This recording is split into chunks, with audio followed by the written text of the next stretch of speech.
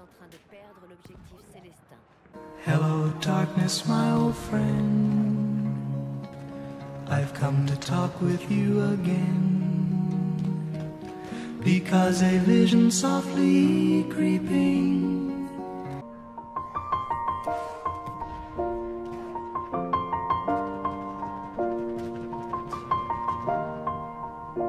It's been a long